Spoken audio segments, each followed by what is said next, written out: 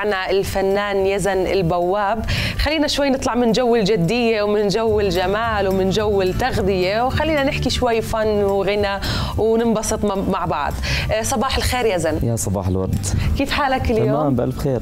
سعد صباحك واهلا وسهلا فيك. أهلا فيك يعني إحنا اليوم جايبينك بحلقتنا وباستضافة بمناسبة جدا مهمة وهي طلاب التوجيهي ونجاحهم. أه. فهلأ أكيد إحنا خلال مقابلتنا رح نخليك تغني لطلاب. التوجيهي وأنا حكيت لك تحت الهواء بدي اياك تغني لزميلتنا ملاك لأنها عروسة جديدة لسه. حاضر حاضر خلينا نحكي. آه خليني أسألك بداية قبل ما نغني كيف بلشت مشوارك بالغنى من أيام المدرسة زي ما عرفنا هيك إذاعات المدرسة مش إذاعات المدرسة هيك فاكتشفت إنه يعني ها ممكن يكون في الواحد عنده شيء يعني إنه يغني أو هيك. يعني كانوا أي حدا أي حدا صوته حلو كانوا على السريع يحكوا يزن حطوه مثلا بالإذاعة. آه يزن على السريع.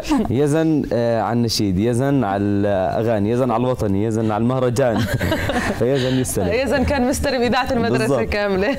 والله شيء حلو بتعرفوا شغلة آه، فعليا الواحد بيكتشف الموهبة اللي فيه وهو صغير. من أيام المدرسة. صح. وكل ما بيكبر إذا عرف يشتغل عليها صح آه، بي بي بيطلع منه شيء نعم. حلو يعني لما يكبر. بالضبط. طب صحيح. هل كان الناس اللي حواليك داعمين لهاي الموهبة؟ يعني صراحة, صراحة مش بالبداية بحب.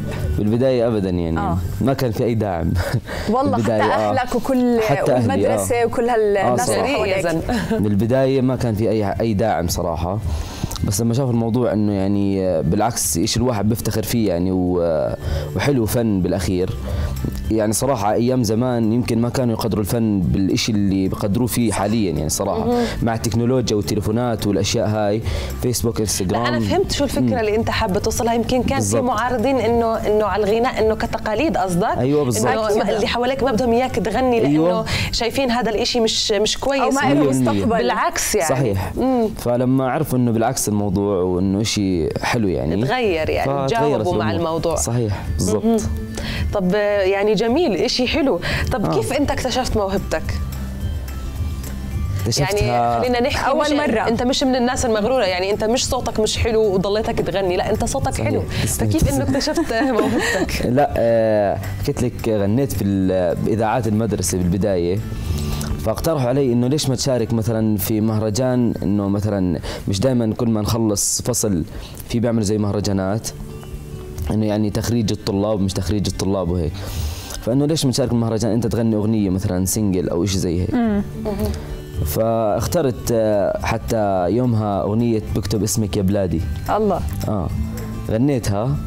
وشفت إنه الوضع إنه تمام لا و... والناس لا زلمه فنان آه فبنميتها اعتمدت الموضوع. طب إحنا بالبداية استعرضنا آه، غرفة سوداء مع راشد وحتى تحت الهواء أنا قلت لك يعني style الأغاني هذا هو اللي حاليا دارج. صحيح. طب احكي لنا أكثر عن هذا العمل وإنه كيف أخذت حتى خطوة إنه يكون في راب مثلا بالنص؟ آه هلا أغنية غرفة سوداء من أكثر الأغاني صراحة اللي تعبنا عليها كتصوير. واضحة النتيجة صراحة آه واضحة صار في مشاكل كثير آه، في الأغنية. في ليفل خلينا نحكي مستوى حلو بال بال بالتصوير. آه بالضبط. آه صار مشاكل كثير في الأغنية صراحة مم. مع شركات بغض النظر عن أساميها. احكي لنا. آه فالشركات هاي كانت متفقة معنا على إنه آه وقت معين للتصوير. مم. واختلفت الأمور وصار في تقصير منهم من ناحيتهم يعني. مم. فإحنا اضطرينا إنه إحنا إنه بدنا نلغي خلص على كل الأحوال. مم. فالشركة هاي آه، سوت معنا حركة كثير مش كويسة. حركة لطيفة. شكرا لها. ف آه، راحت اشتكت علينا. آه. كمان آه. الموضوع كبر بينكم. آه عشان إحنا نزلنا على ال social media إنه كذا كذا إحنا كنا على أساس إنه إنه آه زي دعايه أنا وراشد آه ماخذينهم زي إعلان. آه آه آه. تمام هم ياخذوا لنا الانتاج للعمل. آه، صارت حركة مش منيحة منهم. فاضطرينا ننزل على ال social media عشان الناس ما توقع بنفس المشكلة اللي إحنا وقعنا فيها يعني. أكيد. الناس بتتابعنا آه أول عن أكيد. فراحوا اشتكوا علينا. انه اعتبروها من مبدا تشهير آه والحمد لله من بالضبط. وقبل فترة الحمد لله إنه كسبنا القضية. مبارك. آه, آه راشد يعني صراحة كان طارد ورا الموضوع. يعطيه العافية. بنوجه له تحية معنا آه أكيد راشد, راشد السيد. وبالأخير رحنا واتفقنا بيوم وليلة إنه أنا وراشد اليوم بدنا نرجع نسجل الاغنيه من أول وجديد. أه. ونروح نصورها. وبنفس اليوم سجلناها ضلينا ل 6 الصبح بالاستديو. يعطيكم العافية. سجلناها وثاني يوم. طب ليه سميتوها بهذا الاسم اللي اللي هو غرفة سوداء؟ اشمعنى غرفة سوداء يعني؟ هلا شوفي راشد كاتب الكلام الكلام تبع الراب لموقف صار معاه. لما كان عايش في مكان برا البلد في أمريكا. متغرب. ف... آه بالضبط. هو كان كاتب الكلام. أنا في. الكورس الثاني والكورس الثالث هذول من كتابتي. فشفنا الموضوع لابقين على بعض يعني ف الله يعطيكم ألف خلينا ألف عافية. عمرك يا رب. آه، أنا حكيت لك من البداية يعني وأنا كنت صريحة معك. بما إنه اليوم طلاب التوجيهي نجحوا فإحنا هلأ بدنا نسمع منك شيء لطلاب التوجيهي. طيب بنغني للطلاب اللي نجحوا وللطلاب اللي ما نجحوا يعني. أكيد طبعا. نحكي لهم. خلي أحلامك عم تكبر رح توصل أكيد. لا تندم عاشي وتذكر بكرة يوم جديد.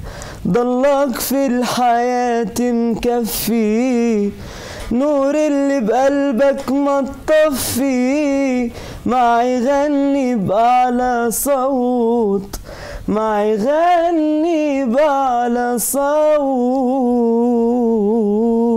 صراحة كان نفسي معك الله بأعلى عليك. صوت بس صوتي مش. حلو. بدناش نجرب. طب. مين مين أول مغني جربت تغني له يا زن؟ أول مغني جربت أغني له ولحديت الآن أنا من محبينه وعشاقه صراحة مع إنه في ناس كثير ما بتحبه اللي هو تامر حسني صراحة.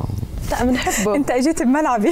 آه. لا بنحبه أنا لا تامر حسني بنحبه. بالنسبة يمكن لي- الشباب أنتم ما بتحبوه. لا أنا بالنسبة لي تامر حسني يعني number 1 عندي.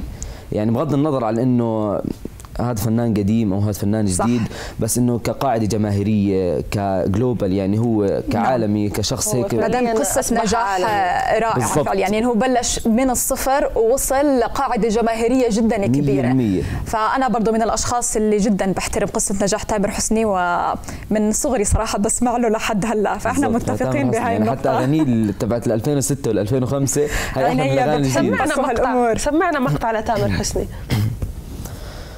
آه يا نور عيني ضميني حسيني.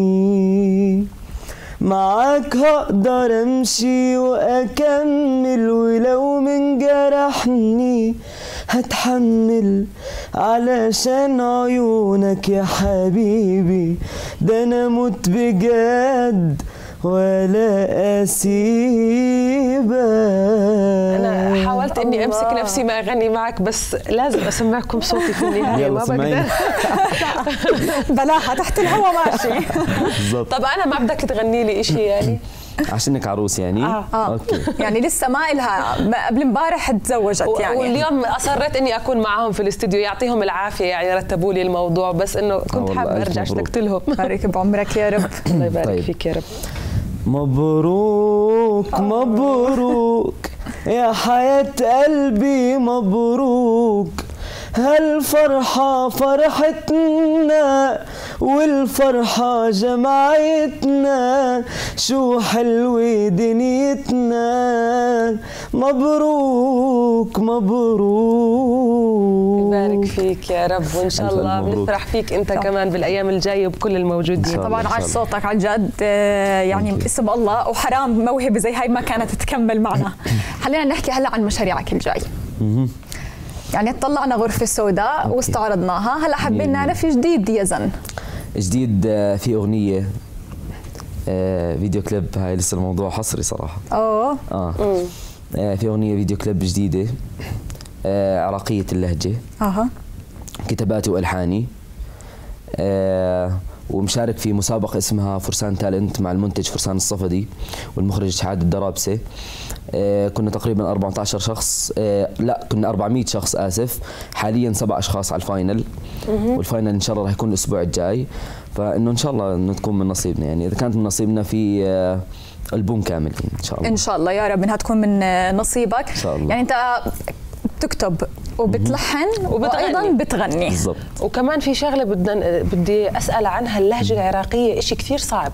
صحيح. فأنت اللي كتبتها ما كان في مدقق لغوي وراك لا لا لا ولا أي هون. لغوي. أنا يعني فعليا آه، مش لاقي شيء بس أنا بتقن اللهجة العراقية كأني عراقي يعني. طب حصريا. أنت حكيت حصريا. حصريا آه. ما فيش مقطع لنا يعني حصريا.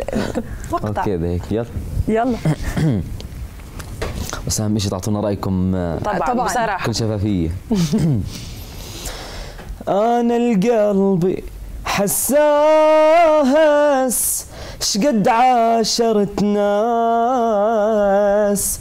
كانوا يأذوني شقد هم أنجاس؟ وأنا القلبي حساس قد عاشرت ناس؟ كانوا يأذوني. شقد هم أنجاس شقد هم أنجاس غدارة هالدنيا ترى ما إلها صاحب؟ هالعالم والله بس حكي لا لا تعاتب؟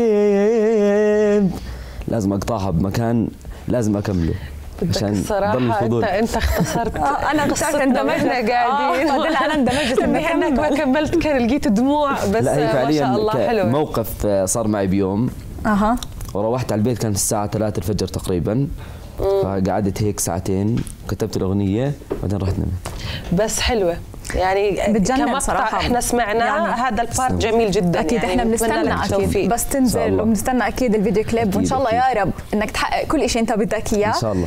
آه حكينا عن مشاريعك الجاي بس هيك حابة برضه تحكي لي لو مستقبلا حبيت تعمل ديو مع فنان مين الفنان اللي رح تختاره؟ أكيد تامر حسني مصر تامر حسني. نتمنى لك التوفيق يا زين وبتمنى من قلبي إني في يوم من الأيام أشوفك مع الفنان اللي أنت بتحبه وحاب تقدم. معه. وإن شاء الله. من خلينا نحكي على المستوى المحلي إن شاء الله للعالمية. إن شاء الله يا رب وشكرا لكم شكرا لكادر الإعداد كامل وتشرفت بوجودي معكم أكيد. يعني والله إحنا بدنا نشكرك على هالصوت الحلو وعلى وجودك معنا. اليوم. تشرفت تشرفت والله. أهلا وسهلا فيك.